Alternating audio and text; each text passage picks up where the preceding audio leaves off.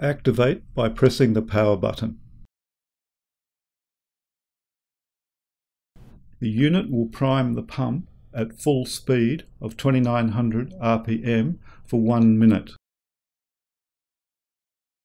You can operate the unit by timer or by mode. Pressing the mode button on the left will change the mode speed, low, medium, high. Now it is on high speed at 2900. This can be reduced by using the down arrow buttons, or you can jump through each mode. In this case, we'll reduce it down to 2400 RPM to run the suction cleaner.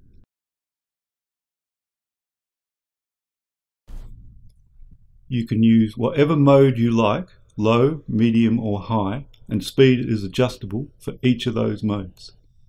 Or you can use the timers, up to four timers a day, by pressing the clock icon. In this case, I want to run my suction cleaner from 6 a.m. to 7 a.m. in the morning at a reasonably high speed. To do so, we first set the clock to 9 a.m. as an example. Press the minutes, that's okay. Press the clock icon again, and now it will jump to timer 1. We then set the time using the down arrow to 6 a.m. Press the clock icon again, minutes are okay. Press the clock icon again, and we will reduce the time down to 7 a.m.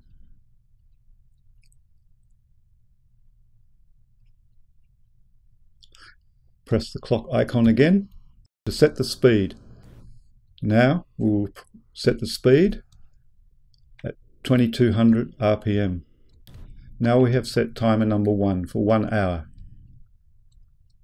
Press the clock icon again and it jumps to timer number two. Press the up arrow and it should go straight to 7 a.m. Minutes we do not need. Press again to set the stop time of timer number two. In this case, 10 p.m. When we have 2200 or 10 p.m. at night, press the clock icon again, minutes we do not need. Now we will set the speed of the pump.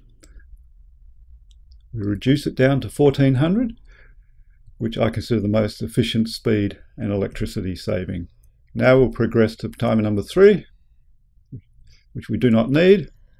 So now because we do not need timer number three or timer number four, leave the iSaver for 10 seconds and it will automatically save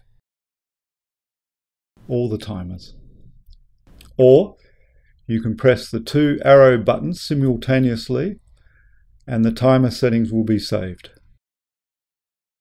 When the pump is running on timers, if at any time you want to use the manual mode, all you have to do is unlock the screen and press the mode button.